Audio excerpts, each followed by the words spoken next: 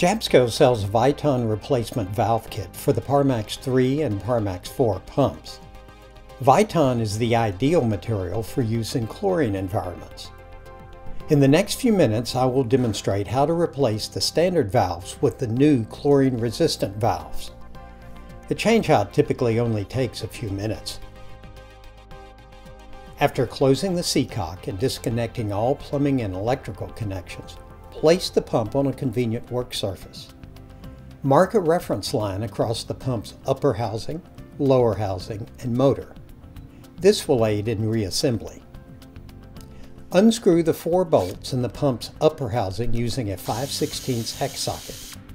Do not completely remove the bolts from the housing. Be sure to have a towel handy for any water that leaks out. With a gentle rocking motion, remove the housing assembly. Next, remove the existing valve block. In some cases, the valve block will be stuck in the upper housing. If this happens, simply take a screwdriver and gently free it. You're now ready to install the new Viton valve block. Make sure that the small Viton O-ring is properly seated in the center of the valve block. If necessary, replace the four bushings with the new ones that came with the valve kit. Note, the bushings have a taper on one end. Make sure the taper faces the same direction as the old ones, toward the pump's upper housing. Position the new valve block, center diaphragm facing up, over the wobble plate seal, making sure it seats properly.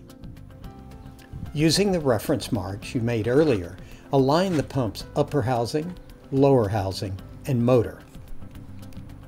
Loosely tighten the four bolts.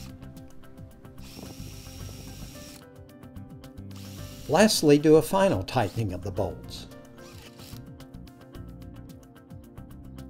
You're now ready to place the pump back into service.